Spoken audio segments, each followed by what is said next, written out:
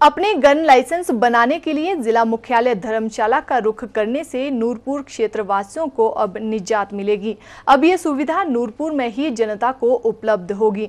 नूरपुर में शनिवार को नूरपुर के विधायक राकेश पठानिया और एसडीएम नूरपुर सुरेंद्र ठाकुर ने गन लाइसेंस ब्रांच का शुभारंभ किया। नूरपुर में गन लाइसेंस ब्रांच का शुभारंभ किया गया। गौरतलब है कि नूरपुर के हथियार धारकों को लाइसेंस बनाने के लिए धर्मशाला जाना पड़ता था। इसी के साथ साथ इंदौरा, ज्वाली, फतेहपुर विधानसभा की जनता को भी हथियारों के लाइसेंस बनाने के लिए धर्मशाला ही जाना पड़ता था। अगर इस प्रक्रिया में कोई आपत्ति लग जाती तो इसी काम के लिए लाइसेंस धारकों को दो से तीन बार धर्मशाला जाना पड़ता था। ऐसे में जहाँ लोगों को आर्थिक नुकसान हो रहा था, वहीं समय भी बर्बाद होता था। इसी को ध्यान में रखते हुए प्रदेश सरकार ने ये सुविधा नूरपुर में शुरू की है, जिसका विधिवत शुभारंभ किया गया।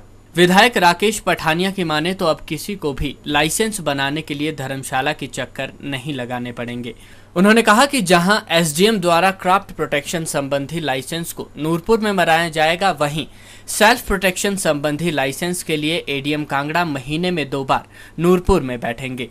ये आज हिमाचल प्रदेश सरकार ने एक बहुत बड़ा बोल्ड डिसीज़न लिया है। जिसके तहत नूरपुर में अब लाइसेंस की प्रक्रिया जो है वो सारी यहाँ पे एसडीएम साहब के कार्यालय में हो जाएगी।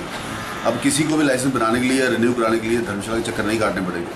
हिमाचल का धर्मशाला और कांगड़ा सबसे बड़ा ज़िला है और मंड क्षेत्र से, नूरपुर क्षेत्र से जो लोग जाते थे, दो दिन लग जाते थे आने जाने में। और एक बहुत बड़ी एक इनकन्वीनियंस जो है थी लोगों को होती थी। अब ये समस्या का समाधान यहीं से हो जाएगा और ये सारे लाइसेंस फ्रेश भी, पुराने भी और क्रॉप प्रोटेक्शन तो यहीं बनेंगे और सेल्फ प्रोटेक्शन के लिए भी आप यहाँ अप्लाई कर सकते हैं। और यहीं भी एडीएम साहब महीने में दो बार आएँगे और उसको यहाँ पे प्रोसेस करेंगे।